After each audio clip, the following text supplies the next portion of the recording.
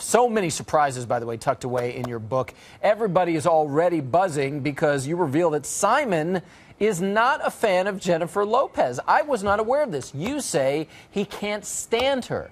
So set the record straight for us, Tom. What's his beef with J Lo?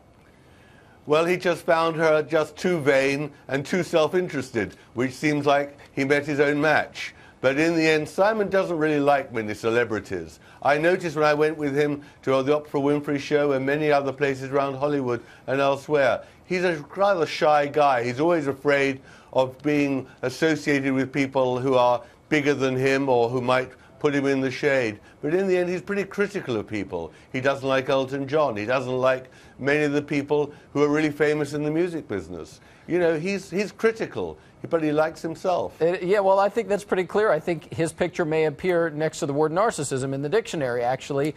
Look, so he's not fond of all of those people, but he certainly has had an eye for some of the female judges who have sat by his side on shows other than J Lo, uh, bringing about some headline-making romances. And in an all-new survey this month, he was voted world's best boyfriend. This really surprised me. He actually beat out Prince Harry.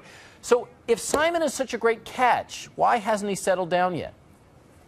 Well, the thing about Simon is he can be charming, he's very generous, he loves fun, but he goes for women who are uninhibited, uncomplicated, a bit trashy, but will make him laugh, and he can make them laugh too. The catch is that he gets very easily bored. All the women I met through him or who he's cast aside just say there comes a stage where he kicks them out. And they don't like it, but that's the way he operates. So he's not going to marry, and he's going to just carry on like the, the big boy who's having fun.